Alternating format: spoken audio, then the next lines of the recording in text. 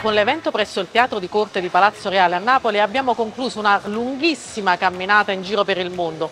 Abbiamo visitato pizzerie in Asia, negli Stati Uniti, in tutta l'Europa, in Sud America, in Africa, fino ovviamente all'Italia per eh, stilare la classifica delle migliori 100 pizzerie al mondo. Un evento straordinario con pizzaioli da tutto il mondo, una grande energia, un grande entusiasmo. Adesso l'obiettivo è continuare su questa strada per avere ancora più una fotografia reale di quello che è il mondo pizza di anno in anno.